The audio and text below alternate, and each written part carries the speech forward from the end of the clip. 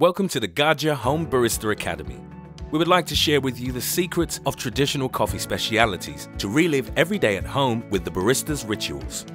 We start with the Italian espresso with crema naturale. You don't need to be a professional barista to make a perfect Italian espresso. Everyone can learn.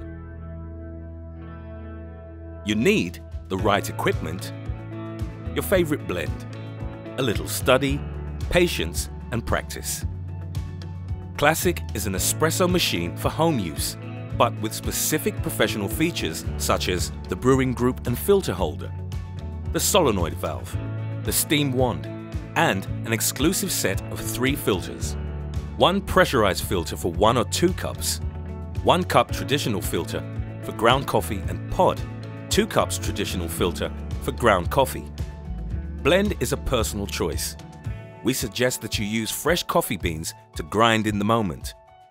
Grinding is fundamental to get the best in-cup result.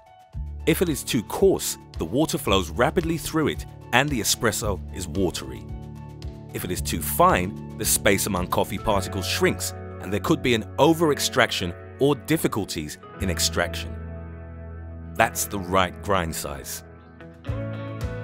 Now we are ready to prepare a traditional espresso italiano with Gaggia Classic. Place the filter holder in the group and switch the machine on.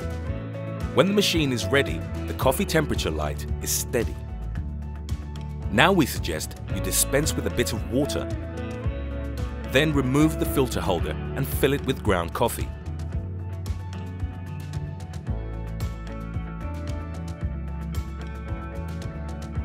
Level the coffee slightly beating the filter holder.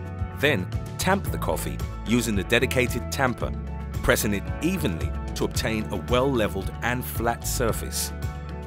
Any coffee residues from the edge of the filter holder should be removed before locking it on the brewing group. Insert the filter holder into the brew unit.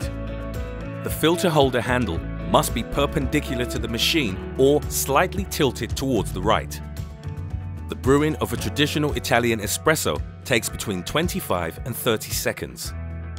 The espresso should flow from the machine in a slow but steady stream, resembling a little mouse tail. The color of the stream during the brew should change from dark to light as the crema naturale begins taking form. Enjoy your authentic Italian espresso